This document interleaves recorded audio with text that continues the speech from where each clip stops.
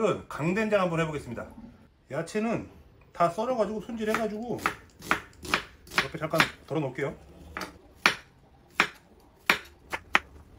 대충 썰어가지고 넣으시면 돼요. 야채 썰어 고기 넣을게요. 자, 살짝 매콤하게 좀 해볼게요. 고추기름 한 두 큰술 정도 넣으시고 자, 팬 달궈지면 고기랑 대파랑 같이 넣을게요.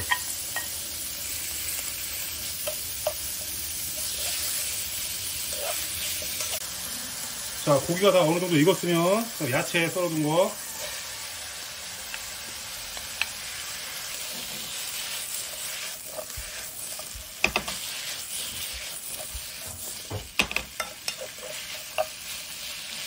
자, 보시면 이제 조금 약간 거뭇거뭇해졌죠? 그러면 그때 그 강된장 소스 시판용 두 개를 넣어줍니다.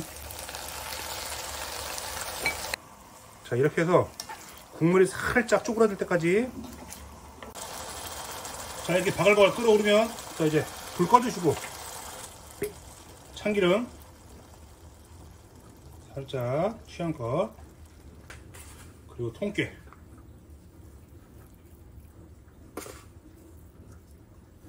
이렇게 뿌려주시면 완성입니다. 예쁘게 잘 나왔죠?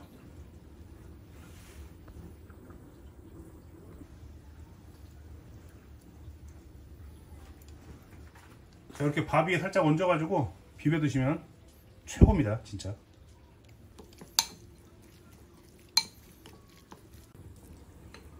이렇게 드시면 됩니다, 여러분.